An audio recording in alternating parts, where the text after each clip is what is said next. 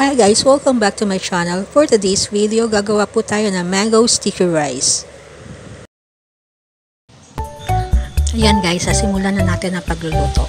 Ang una po natin gagawin, uh, pumili po ako ng 1-4 na sticky rice or malagkit. Yun po, uh, iluto po natin, natin na para tayo nagsasaing. And then po, pag uh, nakita po natin na medyo matutuyo na po, nawawala na po yung water, uh, lagay po natin yung gata or coconut uh, milk. 1 4 na coconut milk po ang nilagay ko dyan. And nag-set aside lang po ako para sa sauce na konti na 1 cup. Yan po, uh, haluin po natin haluin. Nilagyan ko rin po siya ng sugar na 1 tablespoon and a pinch of salt. Kailangan po haluin po natin haluin para po hindi masunog. Uh, yan po yung pinagsalangan ko po kasi multi-cooker so mabilis po siyang kumulo. Mabilis, siyang, mabilis na makaluto. So kailangan halo po ng halo para hindi po masunog yung ilalim. Ayan guys okay na po sa akin yung ganyan. Kaya palalamigin muna po natin yung sticky rice natin. And then guys ito yung sinet aside ko ng coconut milk. Nilagyan ko ng 3 uh, teaspoon of uh, sugar depende po sa inyo kung gaano katamis kayo kumain. Ako kasi matamis po akong kumain. And uh, 1 teaspoon of salt. Naparami po yung salt ko pero dapat mga pinch of salt lang ang ilalagay nyo. Yan po guys. I-mix lang po natin na i-mix. And then uh, lagyan po natin ng 1 teaspoon of uh, cornstarch. And then i-mix lang po natin ulit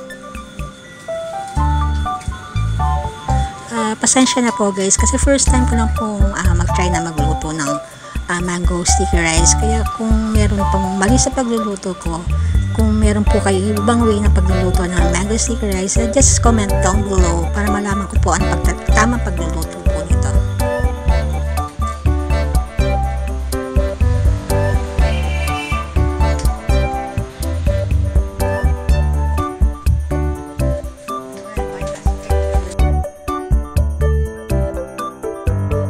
po guys, sa after po natin matapos yung mixture po ng uh, coconut sauce, ay uh, isalang na po natin sa kalan. Mahina lang po ang apoy na gawin natin. Hinaan lang po natin ang apoy para hindi po siya mas masunog. Hintayin po natin siya hanggang maging sticky po siya or maging uh, malapot po siya na sauce para po dun sa uh, parang ipantatappings po natin yan sa rice and sa mango.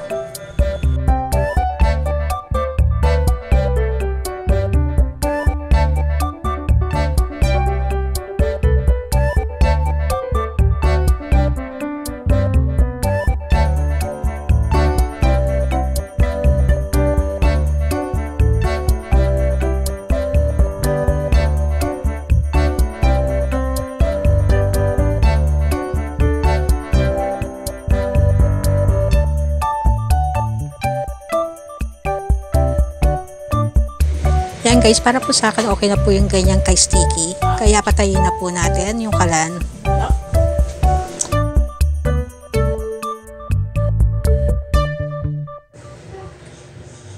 Yan guys, dalawang mangga po ang ginamit ko. And in-slice ko po ng pahaba. Yung iba po pa square para po sa pinakaibabaw. Depende po sa inyo kung ano pong uh, slice ang pag-i-slice po ang, ang gusto nyo.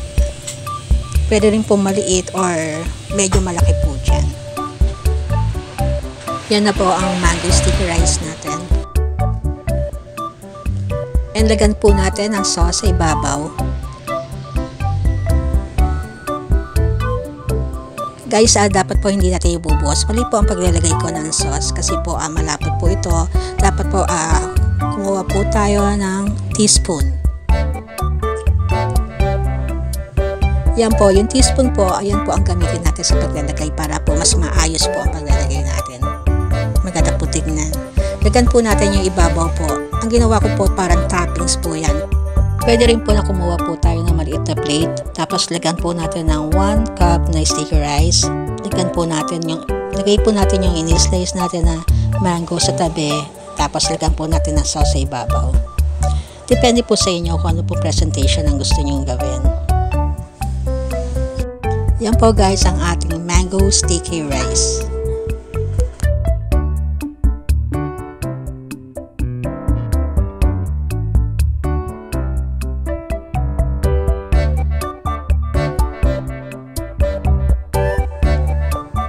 Thanks for watching and see you on my next vlog.